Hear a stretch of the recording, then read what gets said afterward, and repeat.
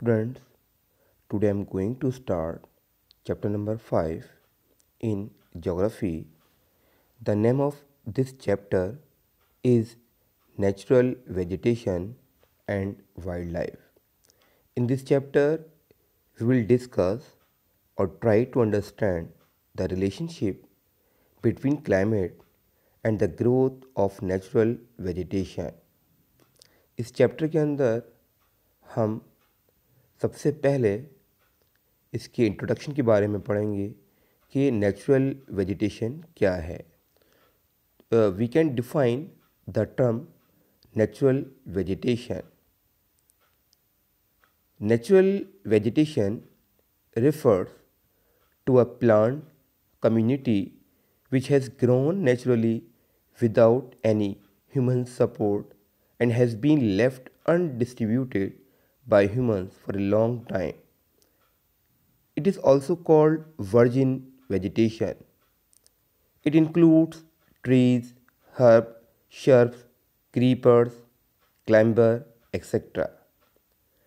Natural vegetation के अंदर वो सारे पेड़ पौधे आ जाते हैं जो नेचुरली जिनकी ग्रोथ नेचुरली होती है जिसमें इंसान का किसी भी तरह से कोई भी इंटरफेयर कोई भी रोल नहीं होता। और इस वेजिटेशन को हम वर्जिन वेजिटेशन भी कहते हैं।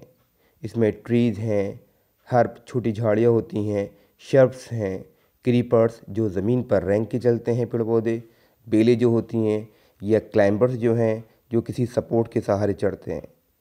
वो सारे पेड़ पौधे जितनी भी किस्म के, वो सब नेचुरल वेजिटेशन कहलाते हैं। इसी में एक टर्म है flora. Flora means plant. All plant life, including vegetation flowers and such life forms found in a specified area is called flora. Flora means वो सारे प्लांट्स जो किसी एक पर्टिकुलर एरिया के अंदर पाए जाते हैं, उनको हम फ्लोरा कहते हैं। Fauna. Fauna means animals. All animals life including birds हैं mammals reptiles fish insect they are living in a specified area is called fauna. India is one of the 12 mega biodiversity countries of the world. पूरे world में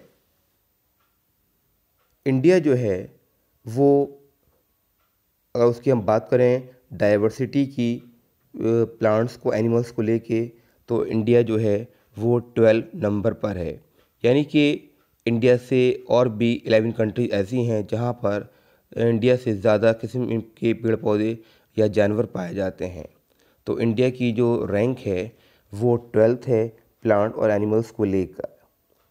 It is considered to be home to about ये माना जाता है कि India के अंदर 7.6 percent of all mammals जितने भी दुनिया के अंदर मैमल्स पाए जाते हैं, उनका इंडिया के अंदर 7.6 परसेंट मैमल्स इंडिया में पाए जाते हैं। इसी तरह से 12.6 परसेंट ऑफ़ ऑल बर्ड्स जितनी भी बर्ड्स दुनिया में पाई जाती हैं, उनमें से 12.6 परसेंट इंडिया के अंदर पाई जाती हैं 6.2 परसेंट रेप्टाइल्स इंडिया के अंदर पाए जाते हैं। 4.4 percent of all amphibians and 11.7 percent of all fish species of the world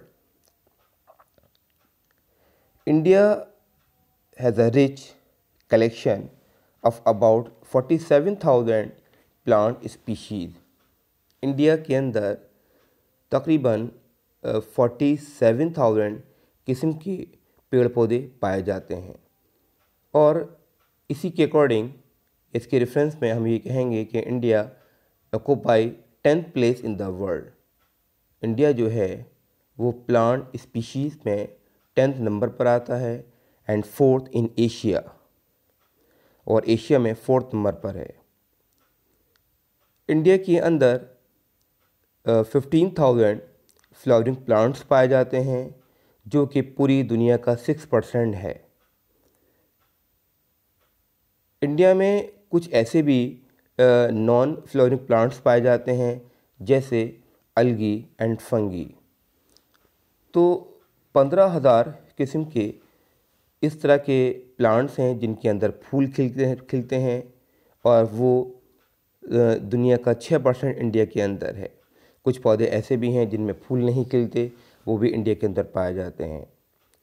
India has also approximately thousand species of animals as well as the rich variety of fish in its fresh and marine water India में तकरीबन नब्बे हज़ार की, नब्बे हज़ार किस्म के जानवर पाए जाते हैं, और उसमें फ़िश वगैरह, मछलियाँ जो हैं वो भी शामिल हैं।